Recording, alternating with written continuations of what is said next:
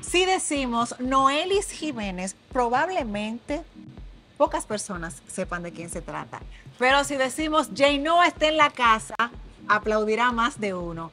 Gracias Claro por acompañarnos, Noah, en esta edición de Top 13 como revelación del género urbano. Gracias por estar con nosotros. Gracias a ti por la oportunidad. Yo estoy súper contenta de estar aquí porque es un proyecto que tiene ya mucho tiempo eh, en los medios y yo orgullosísima de estar aquí hoy contigo. Con solo 18 añitos, Jay Noah, fuiste nominada en los Latin Grammy. ¿Dónde tú estabas en el preciso momento que tú recibiste esa información? ¿Cómo pasó? ¿Fue por teléfono? ¿Te lo dijeron? ¿Quién fue que llevó la buena noticia? Mira, eh, eso se da, yo, yo voy camino a hacerme la trenza porque tenía que hacer un media tour en Estados Unidos y yo, yo me iba. Pues cuando yo voy camino a hacerme la trenza, yo voy por aquí por el puente flotante y me entra una llamada de que felicidades vieja y yo felicidades ¿por qué? Tiny no salió porque Tiny Desk estaba eh, a, pu- a punto de salir en esas mismas fechas y yo le digo no Desk no salió felicidades ¿por qué? y me dice di que no que tú fuiste nominada al Latin Grammy y yo porque yo me quedé, tú sabes que aquí el dominicano ve el Latin Grammy como algo imposible. Entonces, eso uno lo usa como pachelcha. Que uno dice, di que, di que, ah, si, tú haces, si tú haces cualquier loquera, te dicen, di que ah, te ganaste un Grammy. Uno lo veía como así, Sí, tú te sabes. nominaron. Sí, entonces como que yo no me, no me veía tan pronto. O sea, no que no me veía nunca, sino como que tan, tan cercano, no lo, no lo veía. Y que muchas personas, y me incluyo, eh, pensamos que lo de Tiny se dio a la par de la nominación a los Latin No. Grammy.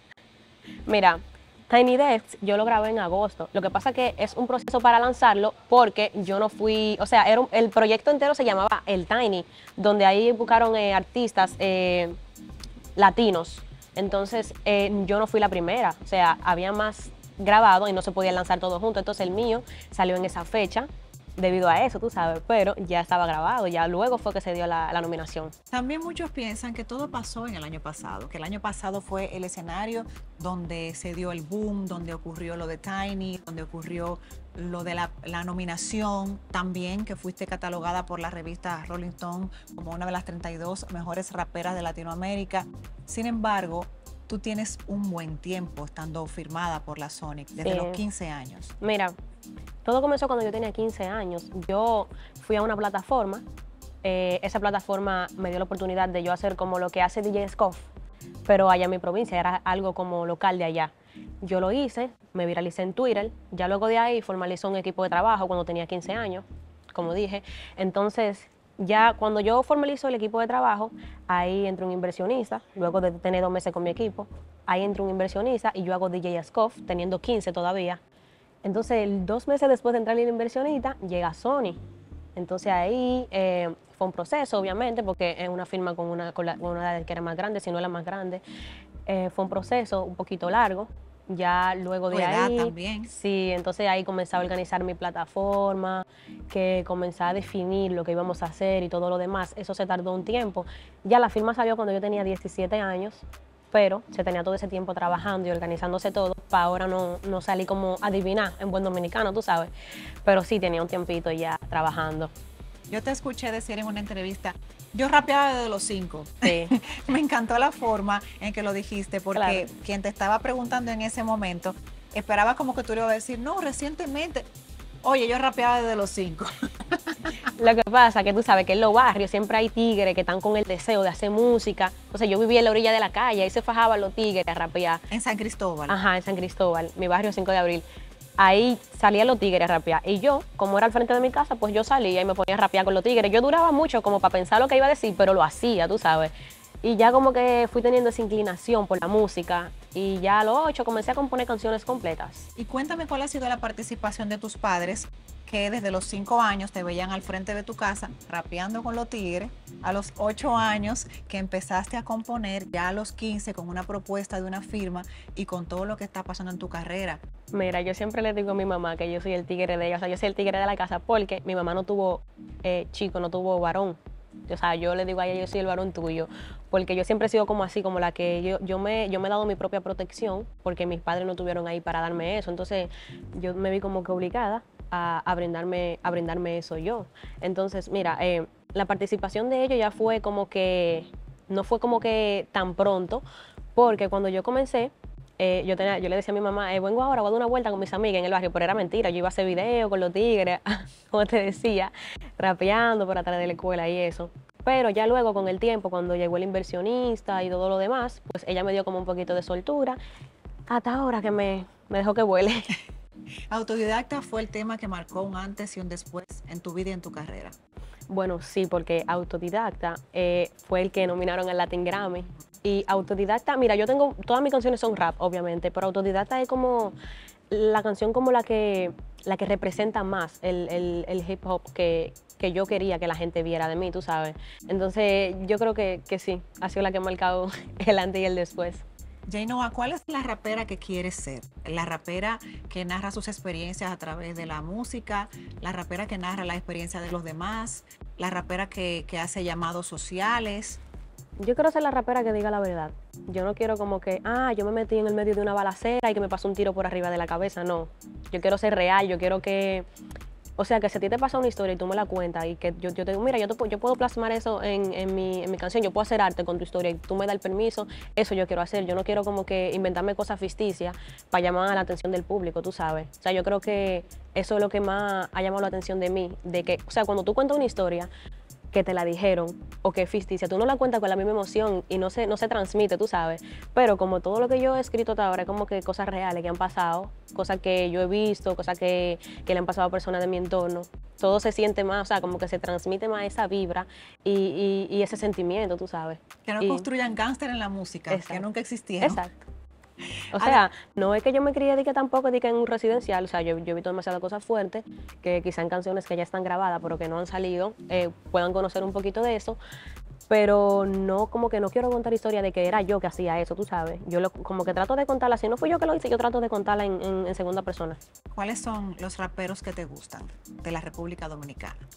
Bueno, de aquí, mira, siempre digo bueno, eh, eh, han pasado controversia con eso porque yo he dicho que yo no tuve, que yo no tuve inspiración, o sea, por, por raperos. O influencia. Exacto, eh, influencias.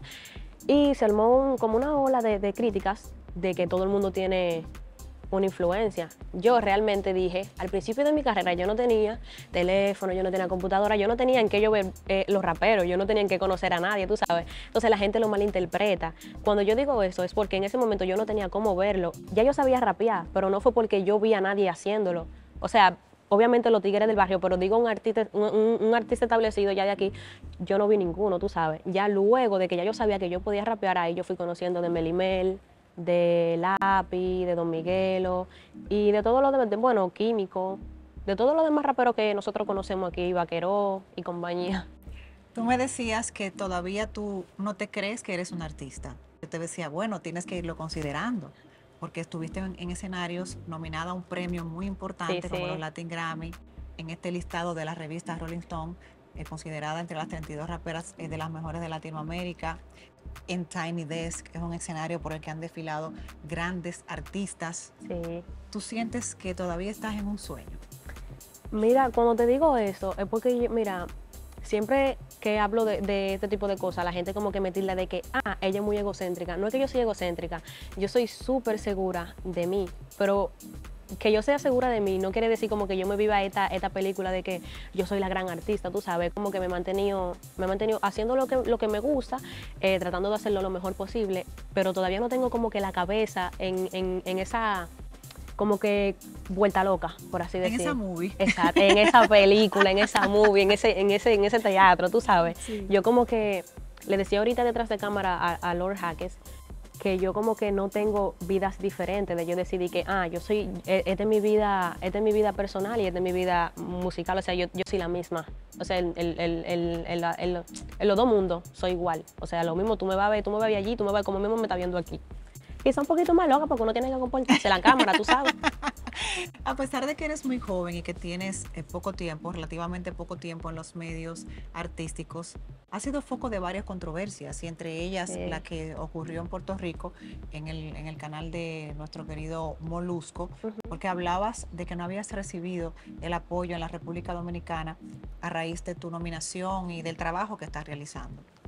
Cuando yo hablé del apoyo, me refería que al apoyo, yo, yo especifiqué, yo dije, en mi nominación al Latin Grammy, y el Tiny Desk no tuvieron el apoyo que realmente se merecían. Si esta bulla que se armó cuando yo dije eso se hubiese hecho con esto, la historia fuera diferente. Y yo creo que las personas que me apoyaron realmente entendieron qué fue lo que yo quise expresar.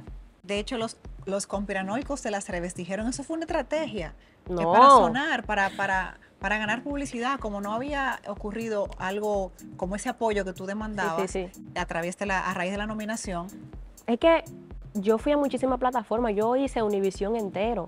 O sea, yo hice muchísimas entrevistas, rapetón, todas esas entrevistas, donde yo podía hacer desorden en todita, en cada una, que, que de cada una saquen un corte. Eso yo, o sea, quizá no fue la manera de yo expresarlo, pero el que me apoyó realmente sabe qué fue lo que yo quise decir, tú sabes. Por eso no, no me preocupé, ni salí como que ningún video, ni ninguna, ni ninguna, o sea, no salí aclarando di que, di que wow, porque, o sea, yo como que me sentí bien conmigo porque yo sé lo que yo quise decir y todo el que me apoyó sabe que yo le agradezco de corazón todo el apoyo que me han brindado.